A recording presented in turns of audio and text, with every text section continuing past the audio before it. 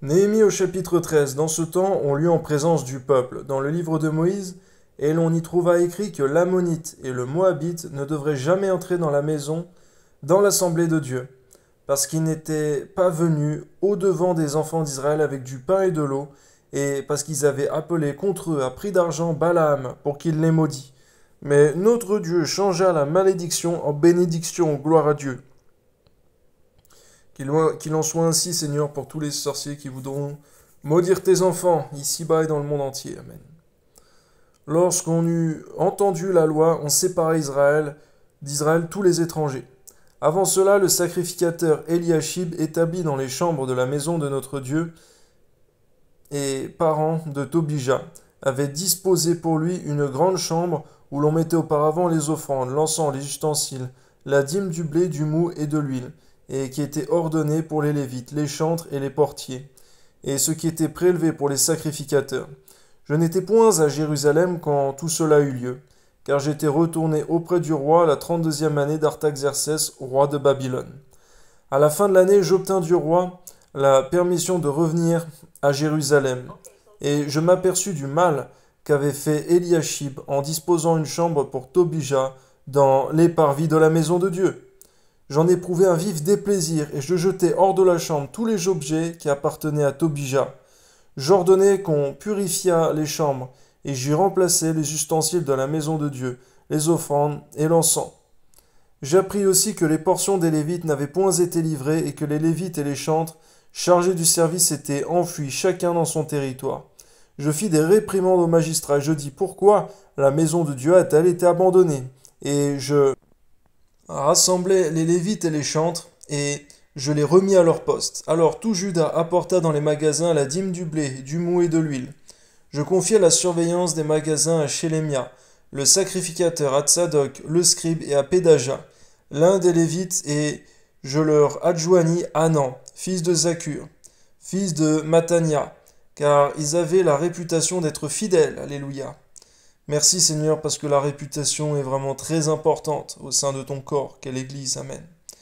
Ils furent chargés de faire les distributions à leurs frères. Souviens-toi de moi, ô mon Dieu, à cause de cela. Et n'oublie pas mes actes de piété à l'égard de la maison de mon Dieu et des choses qui, doivent être observées. À cette époque, je vis en Juda des hommes foulés au pressoir, pendant le sabbat, rentrer des gerbes, chargés sur des ânes, même du vin, des raisins et des figues et toutes sortes de choses, et les amener à Jérusalem le jour même du sabbat. Et je leur donnais des avertissements le jour où ils vendaient leurs denrées.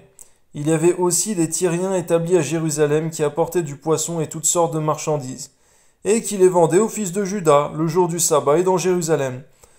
Seigneur, on voit que l'ennemi vient faire des tentations, Seigneur mon Dieu, même des personnes qui ne sont pas de ton peuple. Je fis des réprimandes aux grands de Juda et je leur dis Que signifie cette mauvaise action que vous faites en profanant le jour du sabbat? On voit, Seigneur, que tu avais établi Néhémie pour rétablir l'ordre aussi parmi ton peuple. Merci, Seigneur, pour l'autorité qu'il exerçait, pour changer le cours des choses et ramener l'ordre. N'est-ce pas ainsi qu'ont agi vos pères, et n'est-ce pas à cause de cela que notre Dieu a fait venir tous ces malheurs sur nous et sur cette ville? Merci, Seigneur, pour de tels conducteurs, Seigneur, parce que leur sévérité et salutaire pour ton peuple. Et vous, vous attirez de nouveau sa colère contre Israël en profanant le sabbat. Puis j'ordonnai qu'on fermât les portes de Jérusalem avant le sabbat, dès qu'elles seraient dans l'ombre, et qu'on les ouvrit qu'après le sabbat. Merci pour euh, la prévoyance, Seigneur, de Néhémie, afin d'enlever toute tentation, toute occasion de chute. Et je plaçai quelques-uns de mes serviteurs aux portes pour empêcher l'entrée des fardeaux le jour du sabbat. Alors les marchands et les vendeurs de toutes sortes de choses passèrent une ou deux fois la nuit hors de Jérusalem. Je les avertis en leur disant Pourquoi passez-vous la nuit devant la muraille? Si vous le faites encore, je mettrai la main sur vous. Dès ce moment-là, ils ne vinrent plus pendant le sabbat. Merci encore pour l'autorité qu'exerçait Néhémie, même sur les personnes des peuples alentours. J'ordonnai aussi aux Lévites de se purifier, de venir garder les portes pour sanctifier le jour du sabbat. Souviens-toi de moi, ô mon Dieu, à cause de cela, et protège-moi selon ta grande miséricorde. Amen. À cette même époque, je vis des Juifs qui avaient pris des femmes asdodiennes, ammonites, moabites. La moitié de leurs fils parlaient l'asdodien, et ne savaient pas parler le juif. Ils ne connaissaient que la langue de tel ou tel peuple. Je leur fis des réprimandes et je les maudis. J'en frappai quelques-uns, je leur arrachai les cheveux et je les fis jurer.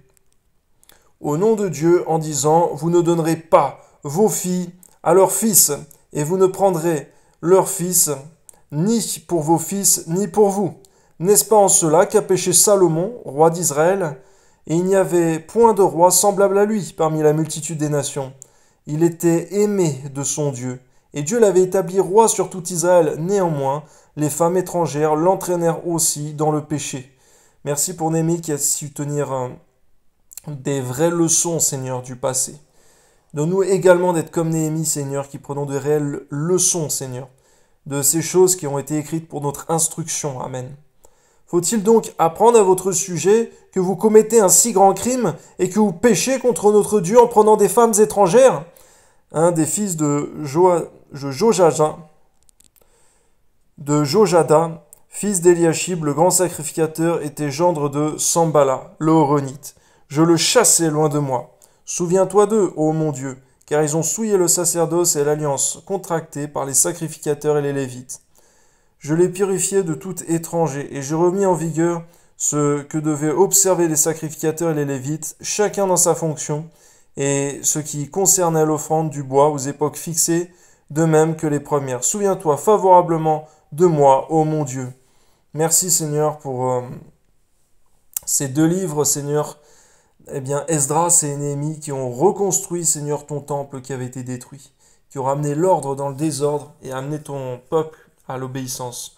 On voit vraiment que Néhémie avait le don de gouverner, Seigneur, ton peuple, le don de diriger, Seigneur, parce qu'il les reprenait sévèrement, Seigneur, et on voyait que son autorité avait beaucoup d'influence sur le peuple. Ton nom soit béni, suscite aujourd'hui encore, Seigneur, parmi tes bergers, Seigneur, des personnes aussi vaillantes, zélées et droites, Seigneur, et autoritaire pour le salut de ton peuple encore aujourd'hui. Merci Seigneur. Amen.